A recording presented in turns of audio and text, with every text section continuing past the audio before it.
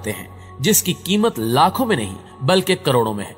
और ये बकरा एक सऊदी शहजादे की जानब से खरीदा गया है, जिसने पूरी दुनिया के होश उड़ाकर रख दिए हैं।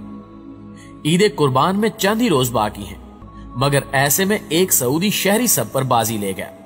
जिसने ऐसा काम कर दिखाया कि बहुत से लोग अगर इसकी तारीफ़ कर रहे हैं तो दूसरी जानब इसे खासी तनकीद का सामना भी करना पड़ रहा है। एक सऊदी शहरी ने एक करोड़ तीस लाख सऊदी रियाल यानी छत्तीस करोड़ चालीस लाख अठहत्तर हज़ार पाँच सौ पाकिस्तानी रुपए में सिर्फ़ एक बकरा खरीदकर सबको वर्त हैरत में डाल दिया है। बकरा खरीदने वाले सऊदी शहरी का कहना है कि इसने ये इसलिए खरीदा है कि ये इंतहाई नायाब नस्ल से ताल्लुक रखता है और वो इसे ईद उल अजहा पर कुर्बान करना चाहता है। इसका यह भी कहना है कि यह इंतहाई मुनफरद खसूसियात का हामिल है जो इससे पहले किसी भी नस्ल के बकरे में